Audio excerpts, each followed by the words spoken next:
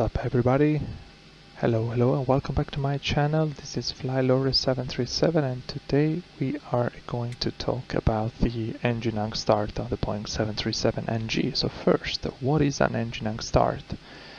The hung start happens when an engine is accelerating towards idle RPM with normal combustion and an extraction of bleed air occurs. So the engine never reaches idle RPM but instead keeps running in a lower stage.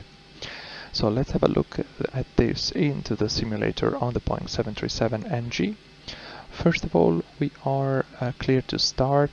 we have a fully configured uh, pneumatic panel according to the uh, normal checklist uh, and the before start checklist is completed. So the first uh, next step is to place the engine start switch to ground.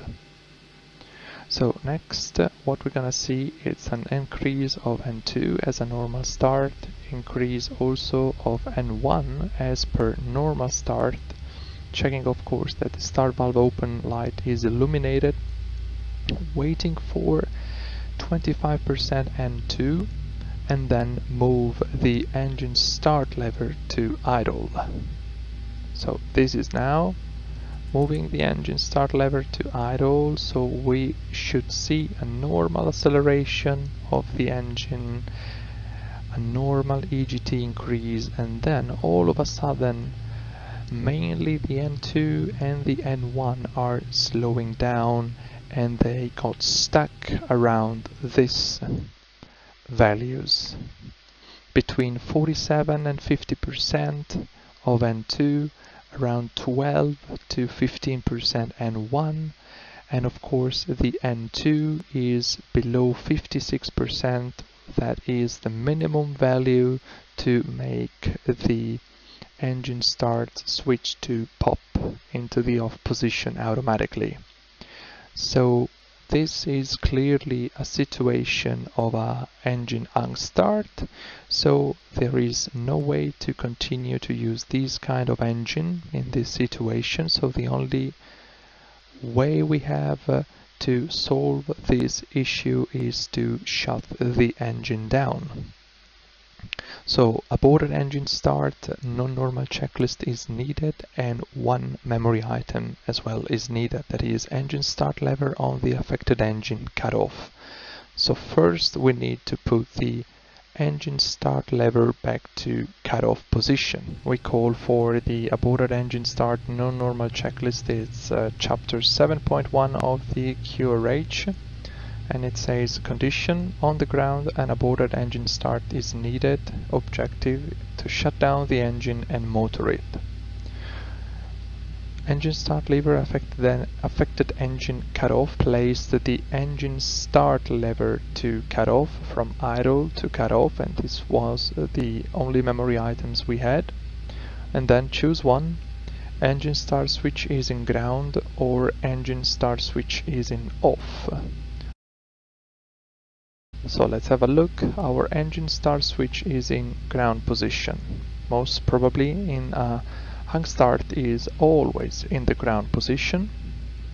So in this case we have to motor the engine for 60 seconds. And then engine start switch affected engine off. So still in ground, the engine is still motoring most probably about uh, 30 seconds have already passed.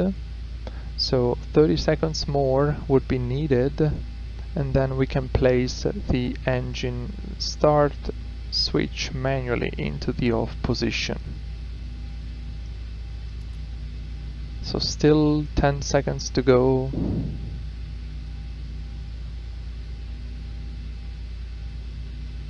and then we have uh, almost uh, yeah 30 seconds now.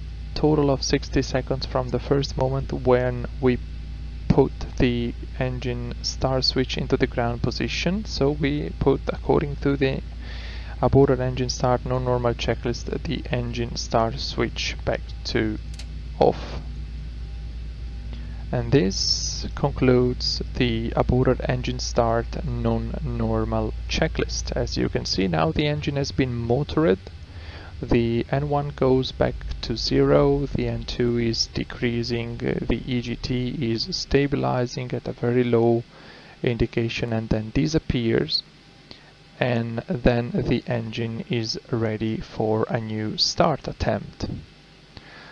Well folks, I hope uh, you enjoyed this video and uh, most probably this situation is uh, going to uh, completely disappear at the next engine start but if it uh, would show up again then most probably a maintenance action is needed and entry into the aircraft tech log would be needed. So thank you very much for your attention. I hope you enjoyed this video and uh, see you on my channel. I'm FlyLore737. Have a very good day. See ya.